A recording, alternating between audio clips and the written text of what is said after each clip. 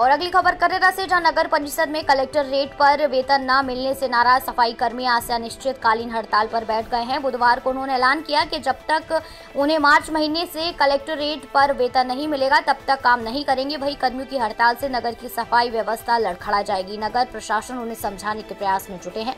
सफ़ाई कर्मचारी यूनियन के अध्यक्ष विजय नरवारे के नेतृत्व में आज बुधवार को काफ़ी संख्या में सफ़ाई कर्मचारी हड़ताल पर बैठ गए हैं। उन्होंने बताया कि उन्हें चार हज़ार रुपये वेतन मिल रही है, जबकि कलेक्टर रेट नौ हज़ार रुपये है। यहाँ सफ़ाई कर्मचारी काफ़ी संख्या में है, लेकिन उन्हें कलेक्टर रेट से वेतन नहीं दिया जाता है, जिससे उनके घरों में खाने के लाले पड़े हैं। परिवार का भरण पोषण सही से नहीं हो पा रहा है। अफसरों को कई बार दुखड़ा सुनाया गया, लेकिन अब तक कुछ नहीं हुआ, जिस वजह से मजबूरन ये कदम उठाना पड़ा है।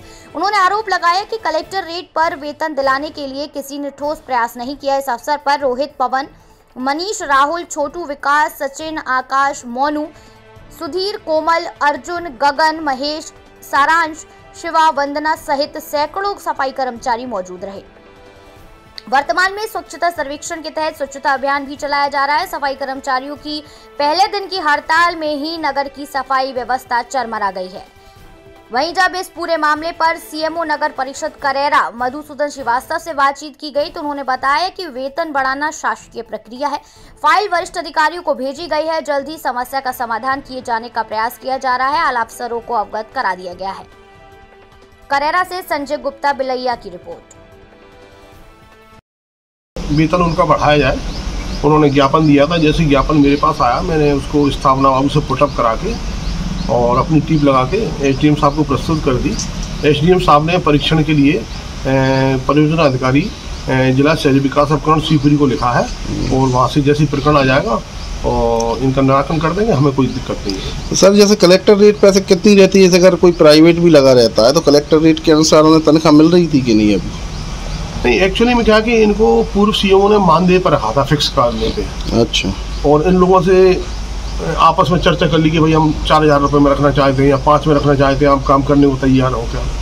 उन्होंने कहा कि हाँ तैयार हैं मौखिक रूप से। फ़ाइल में ये चीज़ हमने ऐसा कोई लिखित नहीं है नहीं फ़ाइल में मैंने देखी नहीं बगैर फ़ाइल के बता रहा हूँ मैं। तो ऐसे काम पे रख लेते हैं अपने ठीक है ना? और अपने दो घंटे तीन घंटे काम कराए एक शिफ्ट में और अपने जो है क्या नाम है फ्री।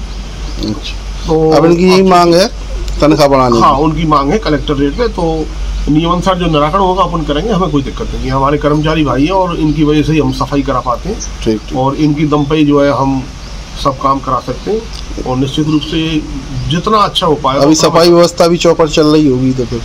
हाँ अब चूँकि एक दो दिन ऐसा हो गया तो कल तक निराकरण हो जाएगा कल परसों तक। तो सफ़ाई व्यवस्था वहीं की वहीं आ जाएगी।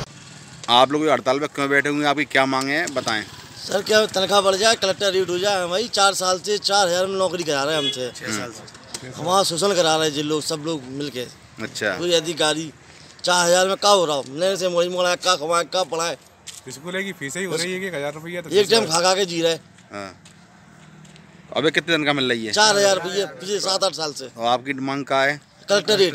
कलेक्ट्रेट क्या है? नौ हज़ार सात सौ पंद्रह। अच्छा। ये हो जाएगी हड़ताल खत्म कर दो। और कोई भी ऐसी नाजायज नहीं है सरकार। चलो ठीक। आधे से हमारे पास